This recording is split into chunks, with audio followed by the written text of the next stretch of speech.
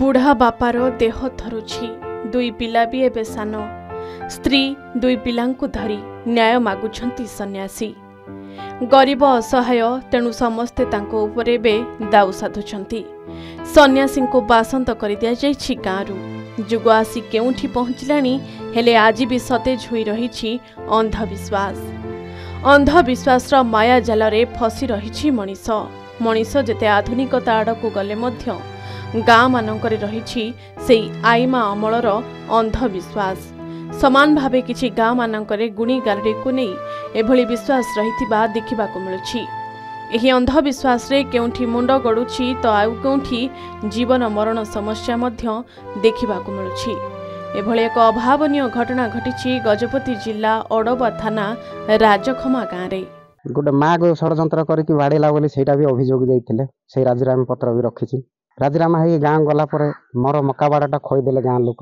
ଏଇ ଗତ ଶୁକ୍ରବାର ଦିନ ମୋତେ ଆକ୍ରମଣ କରି ଘରକୁ ରବୀନ୍ଦ୍ର ପାତ୍ର ମନମୋହନ ପାତ୍ର ଦୀନବନ୍ଧୁ ପ୍ରଧାନୀ ପୁରୁଷୋତ୍ତମ ଦଳପତି ଉଜଳେଶ୍ୱର ଡନସେନା। ଏଇ ପାଞ୍ଚ ଘର ବ୍ୟକ୍ତିରେ ଆଠ ଜଣ ମୋତେ ବହୁତ ଆକ୍ରମଣ କଲେ। ସ୍ୱାମୀ ସ୍ତ୍ରୀ ଏମିତି। ସ୍ତ୍ରୀମାନେ କହିଲେ ଇଏ ଗୁଣିଗା ରେଡ଼ି ସ୍ୱାମୀମାନେ ଠେଙ୍ଗା ବାଡ଼ି ଧରିକି ଆସିକି ବହୁତ ଧମକ ଦେଲେ। ଘର ଛାଡ଼ିକି ଯା ନ ତୁରନ୍ତ ତୋତେ ମାରିଦେବୁ। ମୋ ଛୋଟ ଝିଅ ବି ସେଠି ଏଇ ଛୋଟ ଝିଅଟା ମଧ୍ୟରେ ମୋର। ତାକୁ ମୁଡ଼ି ଫିଙ୍ଗିବା ନଦୀରେ ବୋଲିକି ବି କହିଛନ୍ତି। ସେଥିପାଇଁ ଭୟଭୀତ ହେଇକି ମୁଁ ଆଜି ଘର ଦ୍ୱାର ଛାଡ଼ିକି ମୋ ଫ୍ୟାମିଲି ଧରିକି ଆଜି ରାଜରାସ୍ତାରେ ଅଛି। ନିକଟରେ ଗୁଣି ଗାରେଡ଼ି ସନ୍ଦେହରେ ଗୋଟିଏ ପରିବାରକୁ ଆକ୍ରମଣ କରିଥିଲେ ଗାଁ ଲୋକେ। ଭୟରେ ଗାଁ ଛାଡ଼ି ଏହି ପରିବାର ଦୂରରେ ଯାଇ ଭଡ଼ା ଘରେ ନେଇ ରହୁଛନ୍ତି। ଏନେଇ ଥାନାରେ ଅଭିଯୋଗ କରି ନ୍ୟାୟ ମାଗିଛନ୍ତି ପୁରା ପରିବାର। ଗଜପତି ଜିଲ୍ଲା ଅଡ଼ବା ଥାନା ରାଜଖମା ଗାଁର। ସନ୍ନ୍ୟାସୀ ଦଳପତିଙ୍କ ପରିବାରକୁ ସନ୍ଦେହ କରୁଛନ୍ତି ଗାଁ ଲୋକେ। ସେମାନେ କୁଆଡ଼େ ଗୁଣି ଗାରେଡ଼ି କରିବା ଯୋଗୁଁ ଗାଁରେ ରୋଗ ହେଉଛି। ଗାଁ ଲୋକଙ୍କ ଏହି ସନ୍ଦେହ ସନ୍ନ୍ୟାସୀଙ୍କ ପରିବାରକୁ ବାସନ୍ଦ କରିଛି ଯାହାକୁ ଅସ୍ୱୀକାର କରୁଛନ୍ତି ପରିବାର ଲୋକେ। ଗୁଣି ଗାରଡ଼ି ବୋଲିକି ତ ବାଟକୁ ଧାଇଁ ଆଉଛେ ବେଶୀ ଠେଙ୍ଗା ବାଡ଼ି ଧରିକି ରବୀନ୍ଦ୍ର ପାତ୍ର ବେଶୀ ହେଉଛି। ଏମିତି ହେଇକି ବେଶୀ ଗାଳି ଗର୍ଷଣା କରୁଛେ। ଆଉ ତାଙ୍କର କନ୍ୟା ଯାକୁ ଆଉ ଦେବତା ଲାଗିଲା ଭଳିଆ ହେଇକି ଆଉ ତମେ ଆକା କରିଛ ତାଙ୍କ ନା- ମୋ ସ୍ୱାମୀ ନା ନାଁ ଧରିକି ଗୁଣି ଗାରଡ଼ି ବୋଲିକି ନାଁ ଧରି ଧରି କହୁଛେ ଆଉ ତାଙ୍କେ ସେମିତି ରବୀନ୍ଦ୍ର ପାତ୍ର ଆଉ ଦୀନବନ୍ଧୁ ପ୍ରଧାନୀ ସବୁ ଏମିତି ତାଙ୍କ କନ୍ୟା ଯାକୁ ଦେବତା ଲାଗିଲା ଭଳିଆ ହେଇକି ନାଇଁ ସିଏ ପଠେଇଛି ମୁଁ ଆକା ଆଇଛି ସିଏ ଆକା କଥାରେ ଇଏ କରୁଛେ ବୋଲିକି ବହୁତ ଇଏ କଲେ। ଡର ମାଡ଼େ ତ ବାଡ଼ି ଠେଙ୍ଗା ଦେଖେଇଲେ ଡରିକି ଇଏ କଲେ ମୋ ସ୍ୱାମୀକୁ ମାରିଦେବ।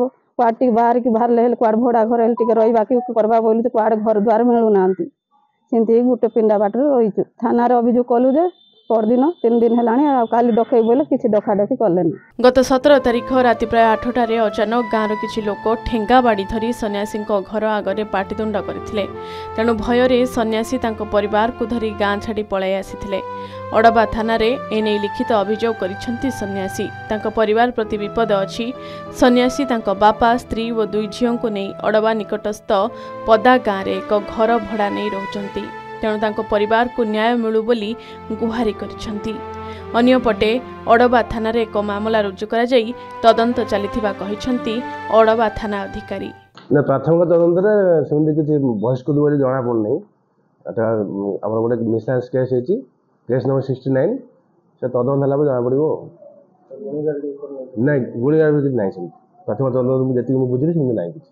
ଅଡ଼ବା ଅଞ୍ଚଳ ନାହିଁ ସେଟା ହେଇଥାଇପାରେ ତାଙ୍କର ଯଦି ମାନେ ସେମାନେ ଚାହୁଁଥିବେ ରହିବା ପାଇଁ ନିଜେ ବାହାରେ ଆସି ପଦା ଗାଁରେ ଯେହେତୁ ସେଟା ଇଣ୍ଟେରିୟର ଏରିଆ ସେଟା ଜଣାପଡ଼ିବ ତଦନ୍ତ ଜଣାପଡ଼ିବ ଆଉ। ଯେତେବେଳେ ଅନ୍ଧବିଶ୍ୱାସ ବିଶ୍ୱାସରେ ପରିଣତ ହୋଇଯାଏ ସେତେବେଳେ ଏଭଳି ସବୁ ଅଘଟଣ ଘଟେ।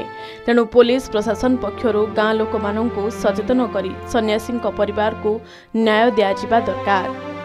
ଗଜପତି ଜିଲ୍ଲା ମୋହନାରୁ Suman Pattnaik report K news Odisha.